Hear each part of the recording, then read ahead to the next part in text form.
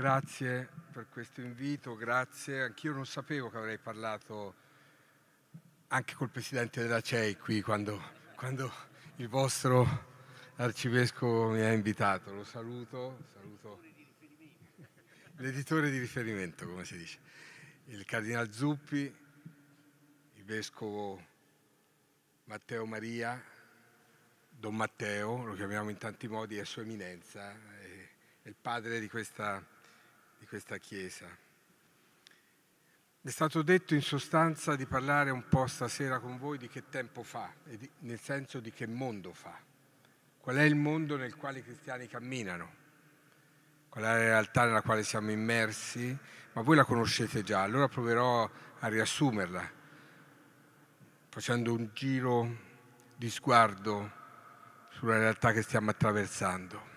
È un mondo globalizzato, lo sappiamo, ci è stato detto e ripetuto in tutti i toni, ci siamo dentro da decenni.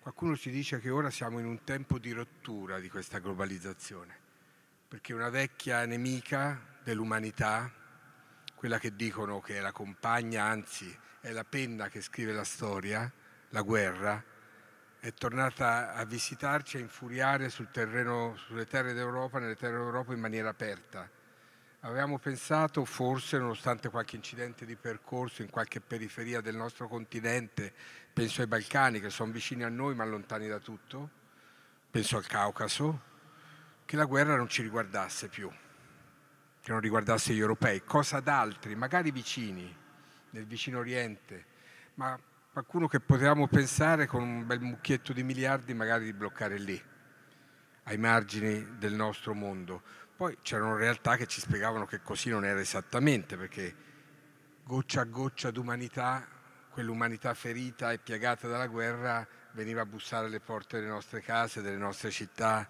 a vivere con noi, a chiedere di lavorare con noi, a chiedere scampo e rifugio presso di noi, perché la guerra non risolve nessun problema mai, li aggrava e massacra la vita degli uomini e delle donne e distrugge la vita delle comunità più piccole, quelle che chiamiamo minoranze, ma nel mondo siamo tutti minoranza e lo stiamo capendo sempre meglio, sempre di più, nei tempi complicati e sfidanti che viviamo.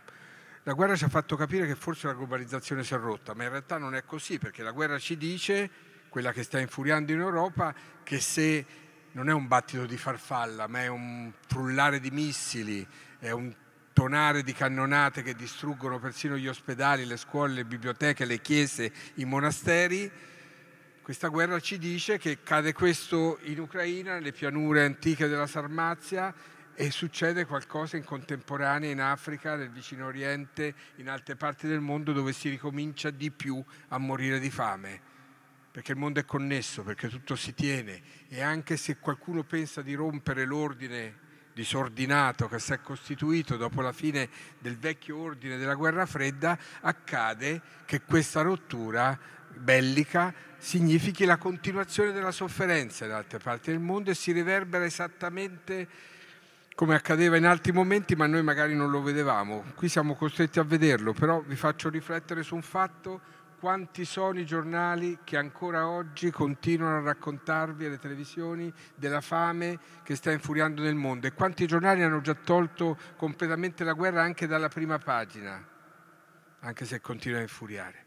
Il mondo che fa sembra che ci interessi fino a un certo punto, finché l'audience è alta, finché ci si può far baruffa sopra e poi si abbassano i riflettori e si distoglie lo sguardo. Il mondo che fa è questa, la globalizzazione che abbiamo fatto è questa. Qualcuno ricorderà che all'alba di questo processo il Santo Padre, allora si chiamava Giovanni Paolo II, ammoniva che una globalizzazione costruita senza solidarietà, che non fosse anche globalizzazione e solidarietà, ci avrebbe portato su strade pericolose, quelle che Papa Francesco chiama della globalizzazione dell'indifferenza, che è pensato un po' il connotato anche del tempo complicato nel quale pare che tutti siamo schierati più o meno, no? tutti siamo da una parte e dall'altra. La guerra è una parte della crisi che attraversiamo che ha altri nomi. al nome della crisi climatica che viene prima della guerra cronologicamente in questa fase della consapevolezza della gente, ma già abbiamo un po' messo da parte, anche se lì dentro c'è la vita dei nostri figli e dei nostri nipoti, c'è la qualità de, de, dell'esistenza delle nostre comunità e delle relazioni che avremo con gli altri, c'è la possibile guerra del futuro e saranno altre guerre giuste per difendere i confini che non devono essere oltrepassati da nessuno, soprattutto se è un aggressore. Ma pensate cosa accadrà, ma non fra qui a, a, a 50 anni, da qui a 10-15 anni con, con, con, quello che sta accadendo, con parti del mondo che stanno finendo sotto acqua o centinaia di milioni di persone che si ritroveranno senza una terra dove stare, con le fonti che si inaridiscono, con le guerre dell'acqua. Guardate quello che accade in Africa negli altopiani fra l'Etiopia, il Corno d'Africa, con il quale noi italiani abbiamo un'antica relazione, e il Sudan, quello che accade con i grandi fiumi che attraversano il mondo, dal Tigre e fino ai, ai, ai, ai Nilo, al Nilo, nelle sue ramificazioni, le dighe che vengono costruite, gli invasi che vengono costruiti, le tensioni che si stanno moltiplicando. Vedremo guerra, ci sono scienziati che ce lo dicono da un quarto di secolo, guerre per l'acqua se non sapremo governare il mondo e se non sapremo globalizzare la solidarietà dentro la realtà che stiamo vivendo. Dire clima per qualcuno è uno sfizio di quelli che non si fidano e non credono che dentro la storia ci sia un disegno comunque magari anche provvidenziale che ci accompagna inesorabilmente verso il bene. Il Padre Eterno ci ha dato una responsabilità di custodire noi quello che Lui ha fatto.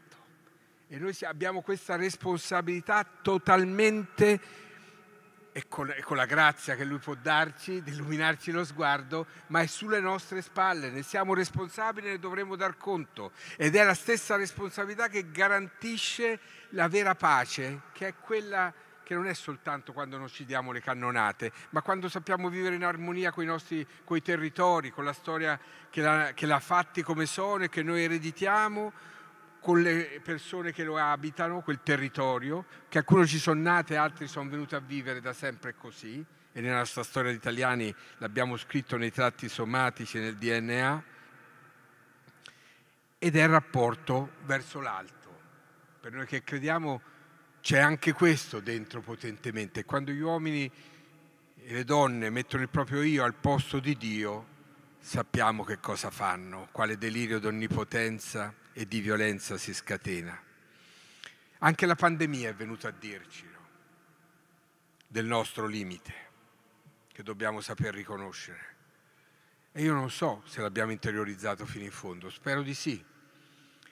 Spero che abbiamo capito che anche ogni nostro singolo respiro è comunicazione di qualcosa di noi all'altro, che può essere un contagio e se siamo capaci di contagiarci con le malattie o con le nostre male parole, a maggior ragione dovremmo saper fare, penso a noi cristiani, quello che ci è chiesto di saper fare, di essere portatori di una parola che invece accende speranza, indica un cammino sul quale camminare a schiena diritta, ma sapendo chinarsi tutte le volte che serve verso quelli che incontriamo e con i quali ci mettiamo in rapporto.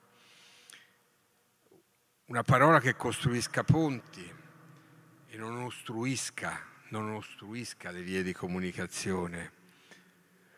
Perché il male del nostro tempo, la pandemia ce l'ha detto in maniera molto chiara, è la divisione. Come abbiamo diviso le nostre città, diviso le nostre vite, diviso le nostre relazioni. È bastato che ci chiudessero per un po' in casa perché ci rendessimo conto di quanto siamo soli dentro le nostre città molto popolate apparentemente, di quante famiglie mononucleari, a me pare di parlare di mononucleosi, una malattia ogni volta che lo dico, ed è una forma di malattia, di quante persone sole ci sono nelle nostre città.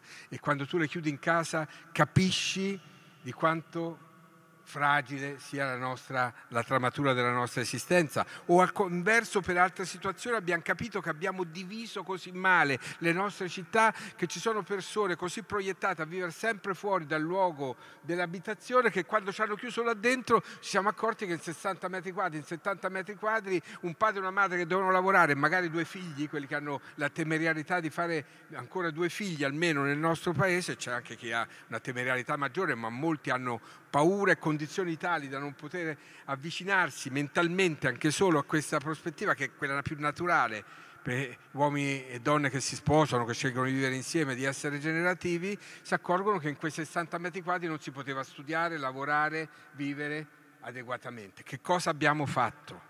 Come abbiamo diviso il nostro spazio e il nostro tempo, rendendoci più facile vivere separati che vivere insieme. Oppure drammaticamente difficile, magari in case troppo grandi, vivere da soli, soli, soli. La solitudine è l'altra grande guerra che accompagna la nostra vita dentro il mondo che stiamo facendo, il mondo delle megalopoli. Noi pensiamo di avere grandi città, ci sono città del mondo, Cardinal Zuppi le conosce bene, l'ha girato, l'ha accompagnato anche nelle sue vite, nei suoi servizi precedenti, a quello di vescovo di questa diocesi un mondo che sono megalopoli dove vivono decine di migliaia di milioni di persone. Che grande compito c'è, che grande semina c'è da fare. O dobbiamo pensare che il mondo sia inesorabilmente un luogo dove si sta ognuno per sé, si fanno i propri affari, si costruiscono relazioni, ma non si fa comunità. Questo è il genio dei cristiani, questo è il genio degli uomini e delle donne di buona volontà, perché si possono globalizzare i mali, come ho detto, forse fino a questo punto, e si possono globalizzare i beni. E la globalizzazione dei beni parte prima di tutto dalla globalizzazione del bene che sono gli uomini e le donne. Nel mondo che stiamo facendo gli uomini e le donne rischiano di essere considerati problemi, non la soluzione dei problemi. Non ci credete mai. Con tutta la nostra fragilità noi siamo portiamo in cuore la soluzione dei problemi che affrontiamo e che ci creiamo da soli. E ogni uomo, ogni donna è una scintilla della risposta che possiamo trovare e fare insieme. Siccome il tempo corre, vorrei dirvi però che questa condizione sostanziale di uguaglianza è negata in molti modi e anche i beni di cui disponiamo, le ricchezze di cui abbiamo sulla faccia della terra, a cominciare dall'acqua di cui ho detto, del grano a cui ho accennato parlando della guerra, dobbiamo saperli condividere e se non c'è una misura di rispetto totale dell'umanità degli altri, noi continueremo a costruire il mondo di disuguaglianze che sappiamo. Qualcuno ci ha spiegato nei suoi rapporti annuali appena presentati, Oxfam in particolare, che mentre infuriava la pandemia si sono accresciute le distanze ancora una volta tra quelli che hanno molto e quelli che hanno niente sulla faccia della terra. Questo è il mondo che fa in cui persino la pandemia accresce il numero dei miliardari assoluti e accresce il numero delle persone che stanno sulla soglia della sopravvivenza. Accanto a questi uomini e a queste donne che lottano per la vita ci sono degli uomini e delle donne che vengono considerati buoni, da qualcuno buonisti, è diventata una parolaccia essere buoni per molto tempo anche nel nostro paese. Eppure c'è qualcuno che va ostinatamente nella direzione giusta, che è ostinata e contraria rispetto all'andazzo del tempo che stiamo attraversando e pensa che le disuguaglianze si possano sanare, non acuire, che non è vero, che non è già scritta questa storia che stiamo scrivendo purtroppo. Ed è la risposta che passa anche attraverso le parole che sappiamo usare, le parole che sappiamo mettere in circolazione, le parole che non dipingono l'altro come un mostro. Uno dei mali del nostro tempo è la mostrificazione dell'altro. Noi sappiamo che l'altro, con la maiuscola, è la condizione della nostra libertà. È la, gene, è la genesi della nostra libertà di figli. Dio ci ha fatto così figli e fratelli. E tornerò su questo. Papa Francesco ci insiste tanto. Io non ho sentito le parole che voi state dicendo nel vostro cammino sinodale, ma so che queste sono le parole dei cristiani. E questa è la parola dei cristiani. La fraternità, che sta accanto alla libertà e all'uguaglianza. Ma come vi dicevo, uguali, uguali, uguali. Dove sono questi uomini e queste donne uguali negli occhi di troppi sulla faccia della terra? Se i cristiani non sanno aiutarli a riconoscere tutti, a far riconoscere a tutti la nostra condizione di uguaglianza, a cosa serviamo? Pensate all'accoglienza straordinaria che stiamo facendo ai nostri fratelli che vengono da, dall'Ucraina.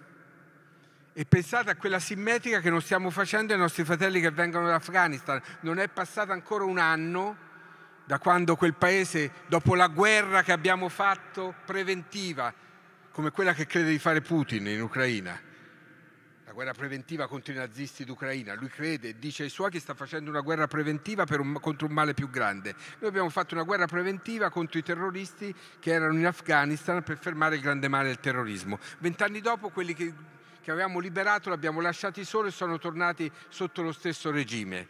Tutto distrutto e la guerra ha creato solo più più divisione e nessuna libertà maggiore per le persone che vivono in quel paese. Meditate anche questo, nessuna guerra costruisce condizioni di libertà, né per quelli che credono, né per quelli che credono diversamente da noi, né per quelli che non credono.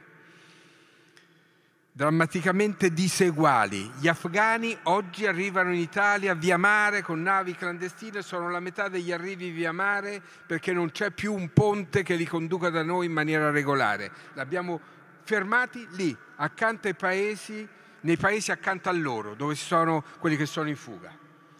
Molti sono cristiani clandestini, ma non ci interessa. Come non ci interessa neanche che siano tanti cristiani che arrivano dal cuore d'Africa, ma hanno la pelle di un altro colore e non lo riconosciamo come i nostri fratelli. Almeno molti di noi, persino la comunità cristiana, faticano a riconoscerli come uguali a noi.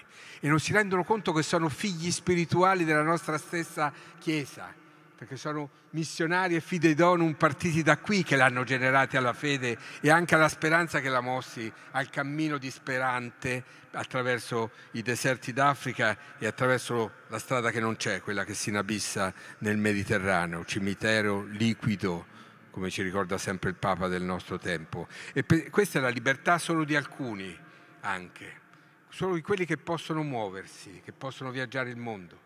Il mondo che abbiamo è un mondo nel quale per essere naufraghi bisogna stare su un panfilo di lusso. Se stai sulla barca dei poveri sei un clandestino, un irregolare. Questo è il mondo che fa e che possiamo, al quale non possiamo rassegnarci. Io credo che ho citato libertà e uguaglianza. Sapete che sono la triade che è profondamente cristiana ma che laicamente è diventata la base della grande rivoluzione laica per eccellenza, quella dell'illuminismo che ha costruito l'Europa moderna, dicono. Abbiamo costruito l'Europa moderna sui principi di libertà ed uguaglianza, una parte più libertà, l'altra più uguaglianza. A lungo tempo, ai tempi della guerra fredda, da una parte c'erano gli egualitaristi che hanno fatto una notte mortificante, che ha ucciso anche lo spirito, dall'altra quelli innamorati della libertà. E abbiamo costruito un modello, il nostro un po' migliore del loro ma la libertà e l'uguaglianza, se non hanno la fraternità accanto, sono due ideologie, non sono due idee forti per la vita degli uomini e delle donne che aiutano a cambiare la realtà e a farla camminare nella direzione giusta. I cristiani possono e devono insegnare al mondo, a questo mondo che fa, che è un mondo storto e sembra solo storto, che no, c'è la via possibile. La solidarietà comincia quando si è fratelli, quando ci si riconosce fratelli. Questo è il messaggio forte del pontificato di Francesco, ma è la strada sulla quale i cristiani e le cristiane sono chiamati a camminare da sempre. Sapete, è più difficile riconoscersi fratelli in una società come la nostra, nella quale si nasce ormai quasi solo figli unici. Si disimpara la fraternità persino nella culla della vita che è la famiglia, in troppe famiglie italiane. E allora vuol dire che per le nostre comunità c'è un compito più grande, ancora più importante in una società di figli unici come la nostra e come tanta parte della società europea. Insegnare a vivere la fraternità semplicemente dimostrandosi fratelli e sorelle nel tempo che ci è dato. Io credo che questo sia l'avvenire e credo che sia il compito che possiamo assolvere per noi e per gli altri e che questo sia un modo per rendere la vita attraente e la vita delle nostre comunità attraenti. Credo che questo sia il cammino. L'avevo scritto anche celebrando i 50 anni di avvenire, che hanno conciso, lo so, ogni volta che parlo a Bologna lo devo dire, con la fine dell'esperienza dell'avvenire d'Italia che è confluito dentro avvenire. Ma io sono orgoglioso di quell'ascito e cerco di tenerlo vivo ne, ne, ne, nel, col lavoro dei miei colleghi e delle mie colleghe nel giornale che stiamo facendo e credo che fraternità sia davvero la parola chiave per il tempo che viviamo, che vuol dire anche imparare ad ascoltare gli altri. Questo ascolto che il Papa in un messaggio, non quello di quest'anno dove ci invita ad ascoltare col cuore, ma di qualche anno fa definiva, lo ricordavo poco fa con i colleghi di Bologna 7, una sorta di martirio l'ascolto dell'altro, una terra sacra su cui camminare scalzi. È così, io lo imparo ogni giorno facendo il mestiere che faccio. Grazie a voi per avermi ascoltato, spero di non aver detto cose totalmente inutili. Grazie, buon cammino. Grazie. Grazie. Grazie. Grazie.